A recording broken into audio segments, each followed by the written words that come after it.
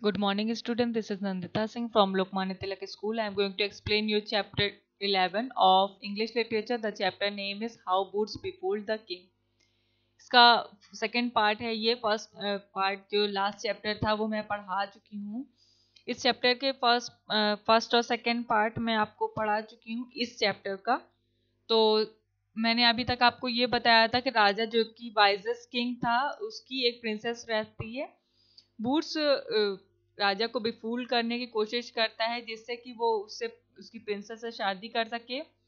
तो एक बार तो बेफुल कर देता है, दूसरी बार राजा उससे कहता है कि अगर जो काउंसिलर जो कि किंगडम का सबसे वाइजेस्ट पर्सन समझा जाता है तो राजा उससे कहता है कि अगर आप, अगर तुम काउंसिलर को उसकी इच्छा के विरुद्ध यहाँ किंगडम में ले आओगे तो मैं तुम्हारी विश पूरी कर दूँगा। अगर नहीं ला पाओगे तो तुम्हें, तुम पर कोड़े बरसाए जाएँगे।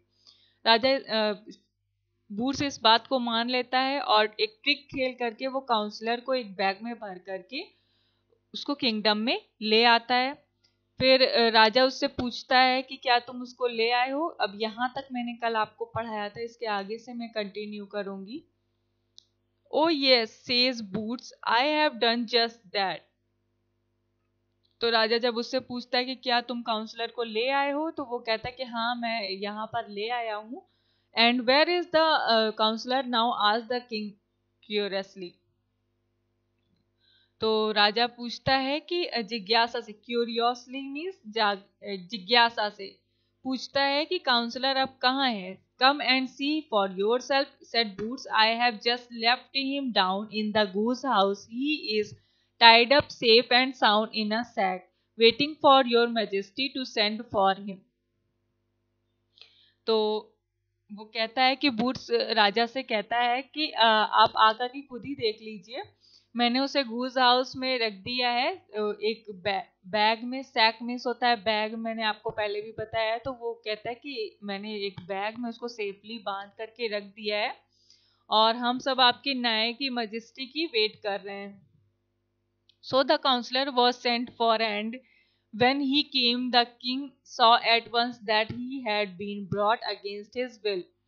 फिर काउंसलर वहाँ पर आता है तो राजा उसे देख करके समझ आता है कि हाँ इसे बिना इसकी इच्छा के विरुद्ध यहाँ पर लाया गया है। And now I and now may I marry the princess said boots but the king was not willing for him to marry the princess yet there was more to be done yet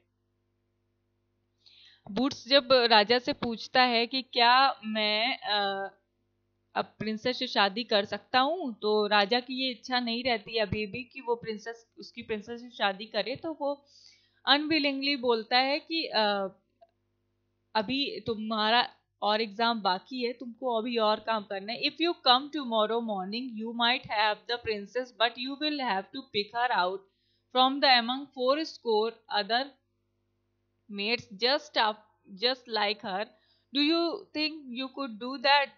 said the king. तो राजा कहता है boot से कि कल तुम जब आओगे, कल सुबह जब तुम आओगे तो तुम्हें तुम्हारी प्रिंसेस मिल जाएगी, लेकिन तुम्हें forty sorry eighty forty score means eighty medals में से एटी लेडीज़ में से, जो कि एकदम उसी की तरह दिखती हैं उनमें से तुम्हें प्रिंसेस को खोजना होगा। क्या तुम ये कर पाओगे? ओ yes that might be easy enough to do तो बूट्स कहता है कि हाँ ये बहुत आसान है, मैं आसानी से कर लूँगा। Come tomorrow but you must understand that if you fail you should have a good weeping and be sent packing from the town said the king और फिर राजा कहता है कि कल तुम आना और अगर तुम इस चीज़ में, इस ट्रिक में, इस एग्ज़ाम में फेल हो जाते हो तो तुम पर कोड़े बरसाए जाएँगे और तुमको अपना बैग पैक करके इस टाउन से बाहर जाना पड़ेगा। So off went boots and the king thought that he was finally rid of him for boots had never seen the princess never seen the princess so he could not possibly pick out from if among eighty others तो राजा सोचता है कि भूत से छुटकारा मिल गया, वो भाग जाएगा क्योंकि उसने कभी भी प्रिंसेस को नहीं देखा है और एट्टी वुमेन जो कि उसी की तरह दिखती हैं, उसमें से वो बिल्कुल नहीं खोज पाएगा। But boots was not going to give up so easily he made a little box and then he hunted up and down until he had got a live mouse to put in to it when the next morning came he went to the king's house taking his mouse along with him in the box तो क्या होता है कि boots अभी भी अब give up नहीं करता है।